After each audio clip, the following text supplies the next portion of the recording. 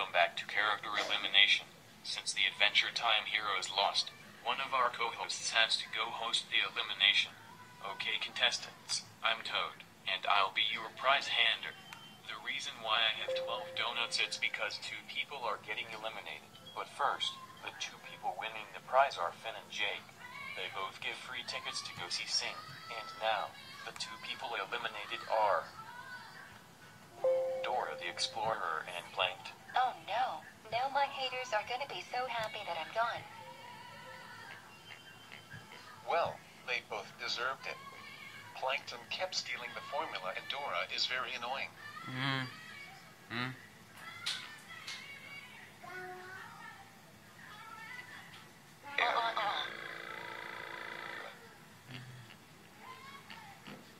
The next challenge is to jump scare an intern. Go. I think I'm a mood for killing Star Butterfly and her friends.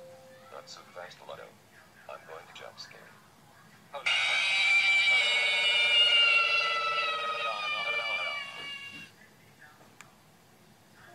I'm not going to kill any interns. I'm just going to jump scare my team instead.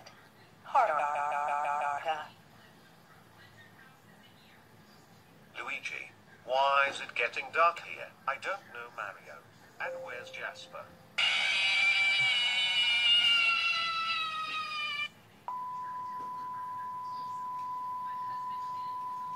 Sorry about that, guys. Anyways, the park groundskeepers lost thanks to Jasper. Vote for who should be eliminated and to win the prize. Since Jasper jump scared her whole team, she gets a disadvantage if she doesn't get eliminated, and vote for who should hand out the prize. I also have a question. Guess who's joining next episode?